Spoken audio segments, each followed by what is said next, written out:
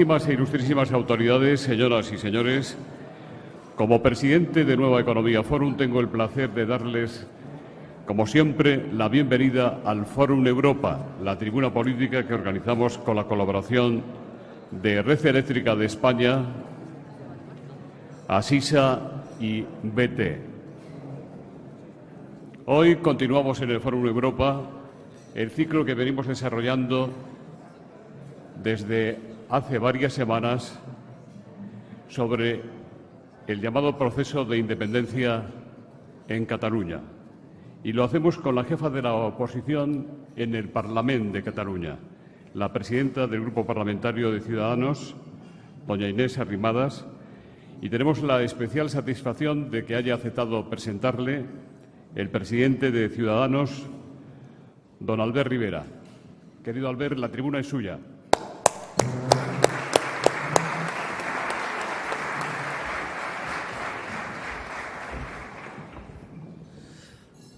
Buenos días a todos. Gracias a Forum Una Economía por, por invitar, invitarme en este caso a presentar a Inés Arrimadas. Gracias a Inés también por confiarme la presentación. Gracias a todos los invitados, diputados, compañeros, también representantes de, de otros partidos políticos, instituciones. Gracias por acompañarnos esta mañana. Para mí es un honor presentar a Inés por varios motivos. El primero es porque es amiga mía. Y eso sí es un buen motivo en la vida para, para presentar a alguien, pero sobre todo porque es una, una de las mujeres hoy, hoy por hoy más importantes en la política española. Y yo diría que está llamada a ser seguramente la mujer más importante en los próximos años en la política española. Y lo va a ser primero porque es la jefa de la oposición en Cataluña, donde lamentablemente tenemos un problema eh, institucional, un desafío al orden constitucional, pero también tenemos la oportunidad de tener por primera vez la primera presidenta de la Generalitat de Cataluña y que sea además constitucionalista y que además tenga menos de 40 años. Con lo cual, Inés está llamada a hacer grandes cosas en la política catalana, pero también a nivel nacional es una persona preparada. Como Inés necesitamos a muchas mujeres en política española, una persona formada, preparada, licenciada en ADE, en Derecho, másters posteriores, con 35 años tan solo y ya una experiencia profesional de casi 10 años, también portavoz anteriormente en el grupo parlamentario, ahora presidenta y jefa de la oposición. Yo no creo que exista ningún otro currículum en política española hoy más brillante y, más preparado con la edad que tiene hoy Inés Arrimadas. Pero queda mucho por delante, Inés, y tendrás el apoyo, no solo mío, sino de todo el equipo de Ciudadanos y creo que de muchos españoles que te miran con admiración desde el resto de España y desde buena parte de la sociedad catalana, que creen que Inés Arrimadas representa lo mejor de la política de este país, pero también la valentía, el coraje de decir las cosas claras en la tribuna, de hablar en la tribuna del Parlamento en catalán, en castellano, sin complejos, sin problemas, demostrando además que una mujer nacida en Jerez puede ser presidenta de la Generalitat de Cataluña. Todo un símbolo de la convivencia y de la pluralidad y diversidad de este país. Pero además de todo eso, tenemos también un reto por delante, que es conseguir que en los próximos años Cataluña deje de ser, mi tierra deje de ser, como dicen algunos, un problema para ser una oportunidad, para ser parte de la solución. Y yo estoy convencido que Cataluña, y lo explicará mejor Inés que yo, es parte de la solución de España. Porque siempre, en los mejores momentos de España, siempre ha habido catalanes también formando parte y liderando la historia de este país.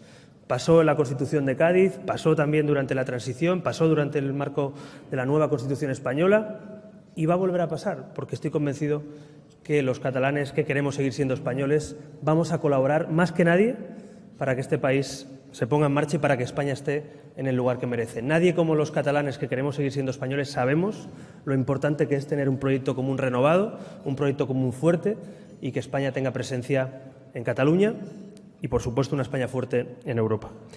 Pero déjeme decirle también que necesitamos personas con valores en la política. Inés tiene esos valores. Yo he trabajado con ella codo con codo y ha sido portavoz del grupo parlamentario que yo presidía, está en mi equipo la ejecutiva, es mi mano derecha, podemos decir, como algunos otros compañeros de aquí, una de las personas en las que más confío, y confío en ella porque tiene valores, además de criterio. En la vida es importante tener criterio, pero también tener valores. El valor del esfuerzo, el respeto a los demás, una persona dialogante con capacidad de búsqueda de consensos, lo está demostrando en Cataluña.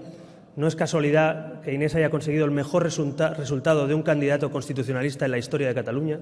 Nadie nunca ni los que gritan más, ni los que gritan menos, ni los más altos, ni los más bajos, nunca han conseguido un resultado como el de Inés Arrimadas en las últimas elecciones. 25 escaños y más de 700.000 votos a un partido nuevo, constitucionalista, en el centro político catalán. Con lo cual, tengo la esperanza de que ese trabajo siga creciendo, de que esa oposición democrática a los que quieren saltarse la ley sea precisamente desde el diálogo y el respeto, y tampoco nos equivoquemos.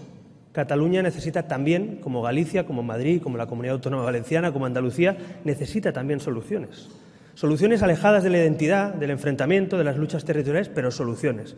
Soluciones en servicios públicos, de financiación autonómica, de infraestructuras. También quieren muchos catalanes reformar y mejorar nuestra Constitución, con lo cual Ciudadanos es el partido e Inés la persona ideal, idónea, para encabezar ese liderazgo, un liderazgo con lealtad al conjunto de España, no como la deslealtad que practican otros en la Generalitat de Cataluña. Con lo cual, yo espero, como votante, además que soy también en Cataluña, poder ver un día una presidenta de la Generalitat como Inés Arrimadas, para sentirme orgulloso, no porque sea de mi partido y porque tengamos la suerte de contar con ella en Ciudadanos, sino porque sea la presidenta que merecen todos los catalanes, sin exclusiones y sin divisiones, sin líneas divisorias entre buenos y malos catalanes, sino para todos los catalanes.